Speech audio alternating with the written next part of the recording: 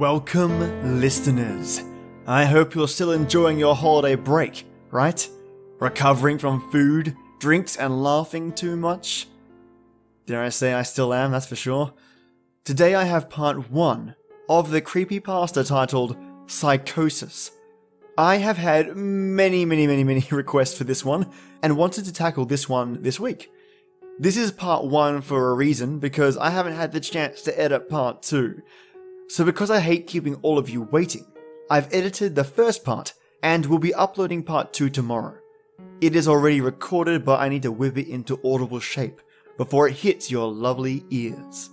So, turn off the lights, grab yourself the mightiest of hot beverages, turn the sound up, and get ready for something different. Sunday. I'm not sure why I'm writing this down on paper, and not on my computer. I guess I've just noticed some odd things. It's not that I don't trust the computer, I just need to organize my thoughts. I need to get down all the details somewhere objective, somewhere I know that what I write can't be deleted or changed. Not that that's happened. It's just everything blurs together here and the fog of memory lends a strange cast to things. I started to feel cramped in this small apartment. Maybe that's the problem.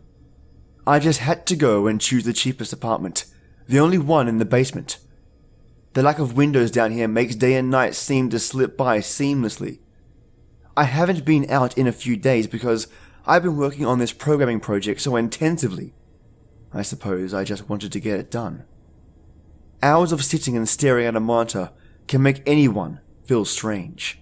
I know, but I don't think that's it. I'm not sure when it first started to feel like something was odd. I can't even define what it is. Maybe I just haven't talked to anyone in a while. That's the first thing that crept up on me. Everyone I normally talk to online, while I program, has been idle. Or they've simply not logged on at all. My instant messages go unanswered.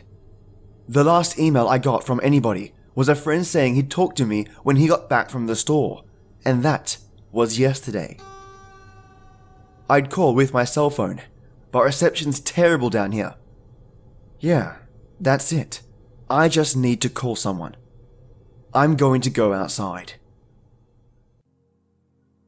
Well, that didn't work so well. As the tingle of fear fades, I'm feeling a little ridiculous for being scared at all. I looked in the mirror before I went out, but I didn't shave the two day stubble I've grown. I figured I was just going out for a quick cell phone call. I did change my shirt though, and I'd guessed that I'd run into at least one person I knew. That didn't end up happening. I wish it did. When I went out, I opened the door to my small apartment slowly. A small feeling of apprehension had somehow already lodged itself in me for some indefinable reason. I chalked it up to having not spoken to anyone but myself for a day or two. I peered down the dingy grey hallway, made dingier by the fact that it was a basement hallway. On one end, a large metal door led to the building's furnace room. It was locked, of course. Two dreary soda machines stood by it. I bought a soda from one the first day I moved in, but it had a two year old expiration date I'm fairly sure nobody knows those machines are even down here, or my cheap landlady just doesn't care to get them restocked. I closed my door softly and walked the other direction, taking care not to make a sound. I have no idea why I chose to do that, but it was fun giving in to the strange impulse not to break the droning hum of the soda machines, at least for the moment. I got to the stairwell and took the stairs up to the building's front door. I looked through the heavy door's small square window and received quite the shock. It was definitely not lunchtime. City gloom hung over the dark street outside, and the traffic lights at the intersection in the distance blinked yellow. Dim clouds, purple and black, from the glow of the city hung overhead. Nothing moved, save the few sidewalk trees that shifted in the wind. I remember shivering though I wasn't cold. Maybe it was the wind outside. I could vaguely hear it through the heavy metal door, and I knew it was that unique kind of late night wind, the kind that was constant, cold, and quiet, save for the rhythmic music it made as it passed through countless unseen tree leaves. I decided not to go outside. Instead, I lifted my cell phone to the door's little window and checked the signal meter. The bars filled up the meter and I smiled. Time to hear someone else's voice, I remember thinking, relieved. It was a strange thing to be afraid of nothing. I shook my head, laughing at myself silently. I hit speed dial for my best friend Amy's number and held the phone up to my ear. It rang once, but then it stopped. Nothing happened. I listened to silence for a good 20 seconds, then hung up. I frowned and looked at the signal meter again. Still full. I went to dial her number again, but then my phone rang in my hand, startling me. I put it up to my ear. Hello? I asked, immediately fighting down a small shock at hearing the first spoken voice in days, even if it was my own. I had gotten used to the droning hum of the building's inner workings, my computer, and the soda machines in the hallway. There was no response to my greeting at first, but then, finally, a voice came. Hey, Said a clear male voice, obviously of college age, like me. who's this? John, I replied, confused. Oh, sorry. Wrong number. He replied, then hung up. I lowered the phone slowly and leaned against the thick brick wall of the staircase. That was strange. I looked at my received call list, but the number was unfamiliar. Before I could think on it further, the phone rang loudly, shocking me yet again. This time, I looked at the caller before I answered. It was another unfamiliar number. This time, I held the phone up to my ear but said nothing. I heard nothing but the general background noise of a phone. Then, a familiar voice broke my tension. John? Was the single word in Amy's voice. I breathed a sigh of relief. Oh, hey, it's you, I replied. Who else would it be? She responded. Oh, the number. I'm at a party on 7th Street and my phone died, just as you called me. This is someone else's phone, obviously. Oh, okay, I said. Where are you? She asked. My eyes glanced over the drab whitewashed cylinder block walls and the heavy metal doors with its small window. At my building, I sighed. Just feeling cooped up. I didn't realize it was so late, you should come here.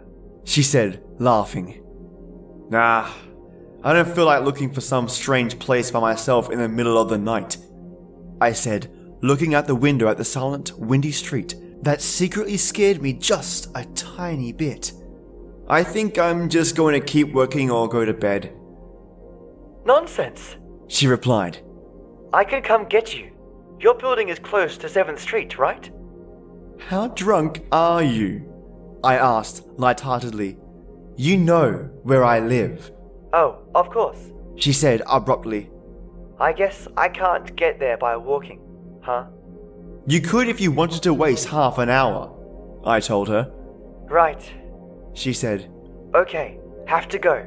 Good luck with your work. I lowered the phone once more, looking at the numbers flash as the call ended. Then, the droning silence suddenly reasserted itself in my ears. The two strange calls and the eerie street outside just drove home my aloneness in this empty stairwell. Perhaps from having seen too many scary movies, I had the sudden inexplicable idea that something could look in the door's window and see me. Some sort of horrible entity that hovered at the edge of aloneness, just waiting to creep up on unsuspecting people that strayed too far from other human beings. I knew the fear was irrational, but nobody else was around. So, I jumped down the stairs, ran down the hallway into my room, and closed the door as swiftly as I could while still staying silent. Like I said, I feel a little ridiculous for being scared of nothing, and the fear has already faded. Writing this down helps a lot. It makes me realize that nothing is wrong. It filters out half formed thoughts and fears and leaves only cold, hard facts. It's late. I got a call from a wrong number and Amy's phone died. So she called me back from another number. Nothing strange is happening. Still, there was something a little off about that conversation. I know it could have just been the alcohol she had, or was it even her that seemed off to me? Or was it? Yes, that was it. I didn't realize it until this moment, writing these things down. I knew writing things down would help. She said she was at a party, but I only heard silence in the background. Of course, that doesn't mean anything in particular, as she could have gone outside to make the call. No, that couldn't be it either. I didn't hear the wind. I need to see if the wind is still blowing. Monday. I forgot to finish writing last night. I'm not sure what I expected to see when I ran up the stairwell and looked at the heavy metal door's window. I'm feeling ridiculous. Last night's fear seems hazy and unreasonable to me now. I can't wait to get out into the sunlight. I'm going to check my email, shave, shower, and finally get out of here. Wait, I think I heard something. It was thunder. The whole sunlight and fresh air thing didn't happen. I went out into the stairwell and up the stairs, only to find disappointment. The heavy metal door's little window showed only flowing water as torrential rain slammed against it. Only a very dim, gloomy light filtered in through the rain, but at least I knew it was daytime, even if it was a grey, sickly, wet day. I tried looking out the window and waiting for lightning to illuminate the gloom, but the rain was too heavy and I couldn't make out anything more than vague weird shapes moving at odd angles in the waves washing down the window. Disappointed, I turned around, but I didn't want to go back to my room. Instead, I wandered further up the stairs past the first floor and the second. The stairs ended at the third floor, the highest floor in the building. I looked through the glass that ran up the outer wall of the stairwell, but it was that warped, thick kind that scatters the light. Not that there was much to see through the rain to begin with. I opened the stairwell door and wandered down the hallway. The ten or so thick wooden doors, painted blue a long time ago, were all closed. I listened as I walked, but it was the middle of the day, so I wasn't surprised that I heard nothing but the rain outside. As I stood there in the dim hallway, listening to the rain, I had the strange, fleeting impression that the doors were standing like silent granite monoliths erected by some ancient forgotten civilization for some unfathomable guardian purpose. Lightning flashed, and I could have sworn that, for just a moment, the old grainy blue wood looked just like rough stone. I laughed at myself for letting my imagination get the best of me. But then it occurred to me that the dim gloom and lightning must mean there was a window somewhere in the hallway. A vague memory surfaced, and I suddenly recalled that the third floor had an alcove and an inset window halfway down the floor's hallway. Excited to look out into the rain and possibly see another human being, I quickly walked over to the alcove, finding the large, thin glass window. Rain washed down it, as with the front door's window. But I couldn't open this one. I reached a hand out to slide it open, but hesitated. I had the strangest feeling that if I opened that window, I would see something absolutely horrifying on the other side. Everything's been so odd lately. So I came up with a plan, and I came back here to get what I needed. I don't seriously think anything will come of it, but I'm bored. It's raining, and I'm going stir crazy. I came back to get my webcam. The cord isn't long enough to reach the third floor by any means, so instead, I'm going to hide it between the two soda machines in the dark end of my basement hallway, run the wire along the wall and under my door, and put black duct tape over the wire to blend it in with the black plastic strip that runs along the base of the hallway's walls. I know this is silly, but I don't have anything better to do. Well, nothing happened. I propped open the hallway to stairwell door, steeled myself, then flung the heavy front door wide open and ran like hell down the stairs to my room and slammed the door. I watched the webcam on my computer intently, seeing the hallway outside my door and most of the stairwell. I'm watching it right now, and I don't see anything interesting. I just wish the camera's position was different, so that I could see at the front door. Hey, somebody's online! I got out an older, less functional webcam that I had in my closet to video chat with my friends online. I couldn't really explain to him why I wanted to video chat, but it felt good to see another person's face. He couldn't talk very long, and we didn't talk about anything meaningful, but I felt much better. My strange fear has almost passed. I would feel completely better, but there was something odd about our conversation. I know that I've said that everything has seemed odd, but still. He was very vague in his responses. I can't recall one specific thing he'd said. No, no particular name or place or event, but he did ask for my email address to keep in touch. Wait, I just got an email. I'm about to go out. I just got an email from Amy that asked me to meet her for dinner at the place we usually go to. I do love pizza, and I've just been eating random food from my poorly stocked fridge for days, so I can't wait. Again, I feel ridiculous about the odd couple of days I've been having. I should destroy this journal when I get back. Oh, another email. Oh my god. I almost left the email and opened the door. I almost opened the door. I almost opened the door, but I read the email first. It was from a friend I hadn't heard from in a long time. And it was sent to a huge number of emails that must have been every person he has saved in his address list. It had no subject, and it said simply, Seen with your eyes. Don't trust them, they. What the hell is that supposed to mean? The words shock me, and I keep going over and over them. Is it a desperate email sent just as something happened? The words are obviously cut off without finishing.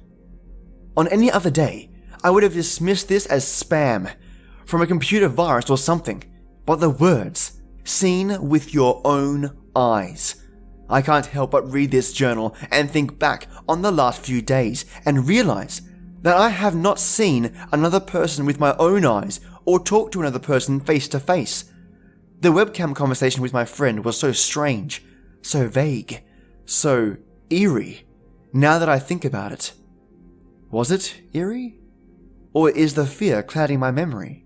My mind toys with the progression of events I've written here, pointing out that I have not been presented with one single fact that I did not specifically give out, unsuspectingly. The random wrong number that got my name and the subsequent strange return call from Amy, the friend that asked for my email address. I messaged him first when I saw him online, and then I got my first email a few minutes after that conversation. Oh my god! The phone call with Amy. I said over the phone, I said that I was within half an hour's walk of 7th Street. They know I'm near here. What if they're trying to find me? Where is everyone else? Why haven't I seen or heard anyone in days? No. No. This is crazy. This is absolutely crazy. I need to calm down. This madness needs to end. I don't know what to think. I ran about my apartment furiously, holding my cell phone up to every corner to see if it got a signal through the heavy walls. Finally, in the tiny bathroom near one ceiling corner, I got a single bar. Holding my phone there, I sent a text to every number in my list, not wanting to betray anything about my unfounded fears. I simply sent, You seen anyone face to face lately?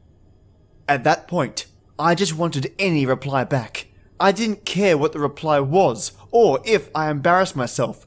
I tried to call someone a few times, but I couldn't get my head up high enough. And if I brought my cell phone down even an inch, it lost signal. Then I remembered the computer and rushed over to it, instant messaging everyone online. Most were idle or away from their computer. Nobody responded. My messages grew more frantic, and I started telling people where I was and to stop by in person for a host of barely passable reasons. I didn't care about anything by that point. I just needed to see another person. I also tore apart my apartment looking for something that I might have missed. Some way to contact another human being without opening the door. I know it's crazy. I know it's unfounded, but what if? What if? I just needed to be sure. I taped the phone to the ceiling just in case. And this ends part one of Psychosis. No, I know, I know, I've left you on a cliffhanger. Rest assured, all will be revealed tomorrow. If any of you want to guess how it turns out, by all means, without reading the creepypasta, of course, let me know. You can comment directly here on SoundCloud, email me at storiesfablesghostlytales at gmail.com, or even reach me on my website. On that note, if you haven't had a chance to check out my website, swing on by. I've got the link in my episode notes. Or you can search Stories Fables podcast in Google, and boom, I should be there. It's a great way to have your friends and family listen to the channel without logging into anything at all. Nothing. It's why I put it up there because I totally understand that not everyone wants to use a podcast app or give out their details. It's also the place where you'll be able to email me using a contact form, so it's super easy. And yes, listeners, it is that time. This is the place where stories live and you telltellers come to listen. Enjoy your day or night and join me every weekday for our creepy tradition. And as always, till next time.